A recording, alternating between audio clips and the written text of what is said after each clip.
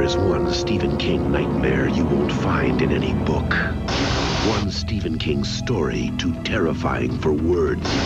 One he's been saving just for the screen.